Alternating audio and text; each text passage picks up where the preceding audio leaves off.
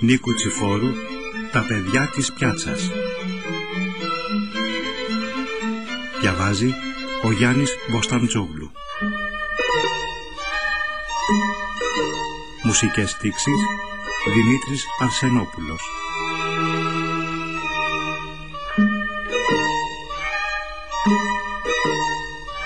Τεχνικός ήχου Τάσος Μπακασιέτας.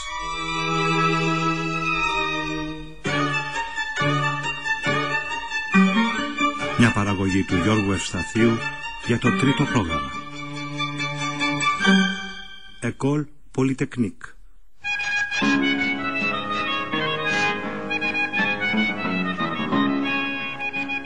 Βγαίνουν το μεσημέρι τα ανθρωπάκια, τυράνε τον ήλιο, καλός καιρός, τυράνε τον κοσμάκι, αγαθιάριδες κόσμος, τυράνε τα αυτοκίνητα και εκείνους που τα έχουνε, μετά κάθονται στην καρέκλα τους, τραβάνε τα πάνω καημάκι, ανάβουνε την τσιγάρα τους και πέφτουνε στη σκέψη. Πώς θα κονομάνε κύριε σήμερα, κατά πως έγινε ο κόσμος όσο να μη θέλεις παρεμολυβδοκόντιλο και κάνει τις σούμες σου. Τα άλλα ραδιό και ήμιση τα τσιγάρα σου. Άντε κάνε τα άλλα ραδιό άμα φουμάρεις πιο δευτεράκια. Τα άλλα ραδιό καφέδες και καναουζάκι. Τα άλλα έξι οι μάσες, έχουμε δέκα κουτσουράκια με το καλημέρα σας. Κόλλα τώρα γυάλισμα παπούτσια, λεωφορεία, κάνα κεραιματογράφο και σχετικά, τα άλλα τέσσερα. Νίκη και πληστικά όσο να είναι τα άλλα τρία. Ρούχα, αγορές, σοβαντίσματα, γενικώς άλλα τα άλλα τρία. Ήγουν σύνολο, σύρωμεν γραμμήν, ένα κόκκινο την ημέρα με το μύτε που έκανα την τρελή μου. Έτσι και μόνο πρέπει να κυκλοφορήσεις μια ανθρώπινη μάπα. Όλα μαζί μηνιαίος δραχμάς τρεις χιλιάδες. Ήγουν δολάρια εκατό και πού να τα βγάλεις. Στοπ.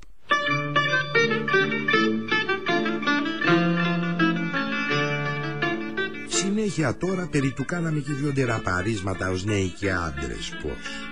Καθώς θα σου πέσει πρίμα και κανένα γυναικάκι, πάμε να πάρουμε μια μπύρα που κάνει και καλό.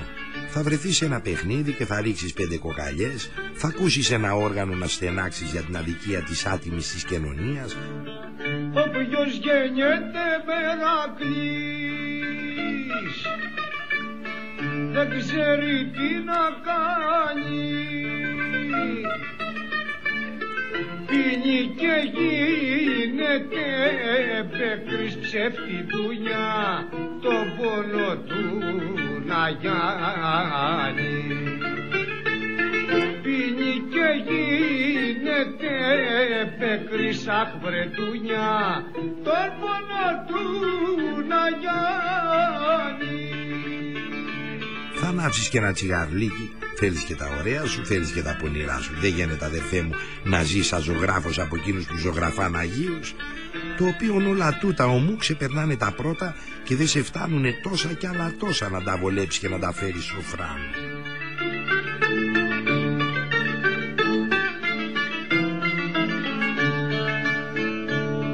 Οι μερακλείδες αγαπούν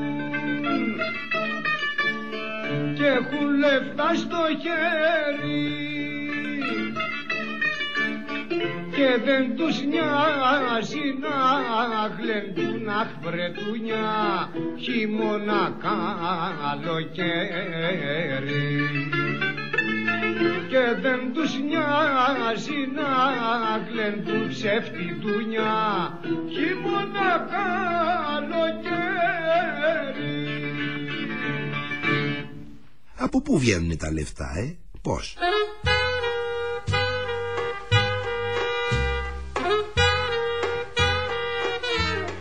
Δεν είναι βέβαια και να κάτσουμε τώρα να λέμε τα μυστικά μας, αλλά έκαστος άνθρωπος κάνει τη φτιάξη του κατά πως βολεύεται.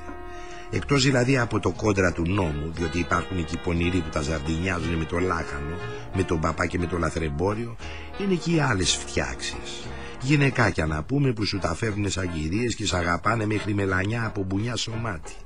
Δουλειές με φάλτσο στέκα, ψηλό και χοντρό κονόμι γύρω από την πιάτσα, παιχνίδι και άλλα τεινά που δεν λέγονται. Να μην πέσουμε και στα πονηρά της καταδίωξης και μας τσουβαλιάζουν στο τζάμπα και βερεσέ. Ε, σφαίρα είναι αυτή και γυρίζει και μες στη γύρα της ζεσταίνει τον άλλον. Καθώς ο κατά πως το παραδέχονται και οι φυσιοδίφες μετά της θερμότητος συντηριέται ο βίος. Μάλιστα. Ο Γιώργης Σουγκατής έχει να πούμε το βαρύ φροντιστήριο. Λόγω που είναι και άνθρωπος με γλώσσες, το έχει βαφτίσει το κατάστημα με τη σημασία του. Εκόλ Polytechnique. Καθώς είναι στο σχολείο ετούτο όλες οι τέχνες μαθαίνονται και τα πάντα διδάσκονται και άμα έτσι και φοιτήξεις εκεί περί τους έξι μήνους μαθαίνεις τα πάντα περί τη μαγιά, την πονηριά της και το κονόμι της και ανάγκη δεν έχεις. Βγαίνεις στο γύρο και είσαι με δίπλωμα και κάνεις έτσι αέρα και κονομάς.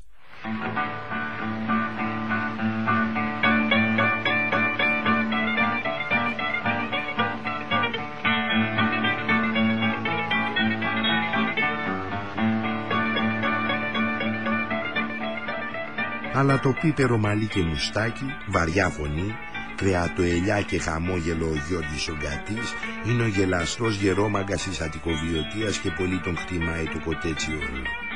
Μήτε κλεψιά, μήτε μαχαίρι, μήτε τίποτα από εκείνα τα πονηρά τα αντιπαθητικά που σε γράφουνε με μολύβι της κόπιας και σε ρεζιλεύουν. Όχι. Ο Γιώργης ο είναι μονάχα έξυπνος και ωραίος. Και επειδή ξεχύθηκε από δέκα χρονό αγοράκι και έφερε την πιάτσα ολόκληρη βόλτα, τον ξέρουν μέχρι και οι πέτρες από προφήτη Ηλία μέχρι Αγία Σοφιά. Και τον αγαπάνε και τον κάνουν χάζι με τις πλάκες του και με τα ωραία του και λένε τις παλιές και τις καινούργιες ιστορίες του και τον καμαρώνουν μέχρι που αν υπήρχε παράσιμο της λάσπης θα του το δίνανε και θα το θεωράγανε και τιμή τους που έχουν τέτοιο αγόρι στο τάγμα. Ο Γιώργης τα κέρδισε βλέπεις στα γαλόνια του μέσα στη μαγιά και ουδής δύναται να είπε ότι αδικήθηκε ότι δεν τα φάγε μαζί του όσα έβγαλε ο άνθρωπος και ότι μάλωσε ή βρήκε τσαγγίλα στα λάδια του. Κύριος πολύ με τον κόσμο του και σωστός ξεχώρισε να πούμε την κοινωνία σε δύο μέρη.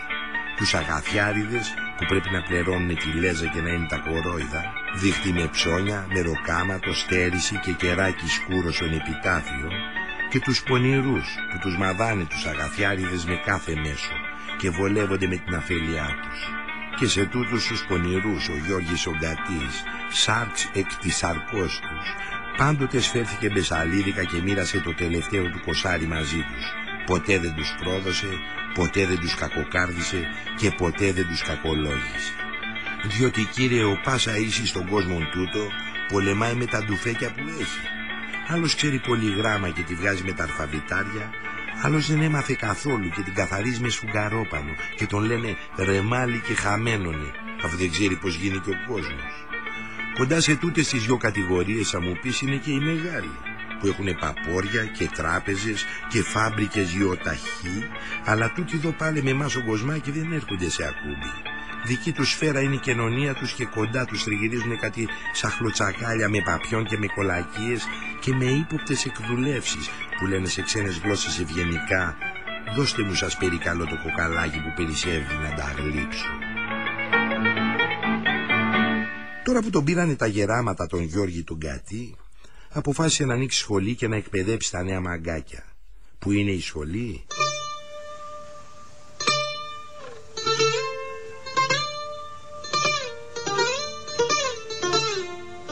Ας μην δώσουμε τη διεύθυνση, αλλά βάλτε την να πούμε κατά κερατσίνη μεριά και δεν γράφει απ' έξω φροντιστήριος σπουδών Μορτιάς Γεωργίου Γκατή, καθώς αναπαγορεύεται και δεν μπαίνει και φωτεινή επιγραφή σε τέτοια ιδρύματα. Μια παράγκα να πούμε ξύλινη, που άμα φυσάει βορεινά φέρνει μέσα βεντάλια τον άνεμο. Μια κασόνα που γίνει και ντιβάνι ντυμένο με αντρομίδα, ένας μπουφές να σερβίρουμε τα παιδιά και να τα βοηθάμε στο ξέπηγμα, απάνω να κρέμονται τα όργανα της μορφώσεως μουζικών τμήμα, μπαγλαμαδάκι, δυο τζούρες, ένα μπουζούκι χοντρόφωνο, το χώμα στρωμένο με κουρελούδες πεταλουδάτες και στη μέση ο βωμός. Να πούμε ένα μαγκαλάκι καλό, περιποιημένο, με το καρβουνό του να καίει και με στιτές δυο τσιμπίδες. Και απάνω στις τσιμπίδες να μελώνουν από την καρβουνοθρακιά ξερά σίκα. Διότι άνθρωπος είσαι. Ακούς μάθημα, φουμάρεις καμιά ψηλή, Πίζεις και θέλεις να συνέρθεις Να φάσω λοιπόν ένα σικαλάκι Που πληρώνεται να πούμε μαζί με τα δίδακτρα Και θα κάνεις το κέφι σου Ο Γιώργης ο Γκάτης δεν είχε ανάγκη να παίρνει τα λεφτά του σε χρήμα θα μου πεις όσο να όλοι οι μαθητές θα ρίξουν 4-5 κουτσουράκια για συντήρηση στο οίκημα. Πώς; Αλλά έτσι και δεν τα έχουν φέρνουν ό,τι βρεθεί. Που κάμισο αμερικάνικο που το φάγανε καταλήλως, καμιά κότα, ρελόγια, αυγά, γυαλιά του ήλιου ή τίποτα δοντιές όπως να πούμε καλείται η κανονική μερίδα το μαυράκι που το κόβουνε με το δόντι και γεμίζουνε το τσιγαρλίκι τους. Η δοντιά να πούμε είναι το πιο πλούσιο δίδακτρο και κοινής χρήσεως καθώς ο Γιώργης, μέγας μάστορας του είδους και πρίγκιπας της μαστούρας, πάντα θα κάνει το μάθημά του ρουφώντας μαζί με τα παιδιά. Πώς να ξεθολώνει και το μυαλό και να μην βαθμολογάει με μηδενικά. Μαζεύονται λοιπόν τα τμήματα από 11 με 2, 3 με 6 και μετά το μεγάλο το βραδινό από τις 10 εκεί ύστερα να ακούσουν το πρόγραμμα που δεν είναι βέβαια καθορισμένο από το Υπουργείο Παιδείας αλλά πολύ μορφωτικό. Και ο καθηγητής Γεώργιος Γκάτης ιδού πώς διδάσκει μόνος και με βοήθεια κάτι άλλους γερόμαγκες βασιζόμενος στην πείρα και στα πεπραγμένα φάκτα της ζωής όπως την πέρασε ωραία και γελαστά άνευ έγκλημα και άνευ σκοτούρα γενικώς. Το παν αδερφάκι μου είναι της σήμερον ποιος θα ρίξει τον άλλον και αυτό όχι σε εμάς που είμαστε στο ξέφτη της κοινωνίας, αλλά σε άπαντο ντουνιά, από σοφό μέχρι πρόεδρα της πιο μεγάλης χώρας.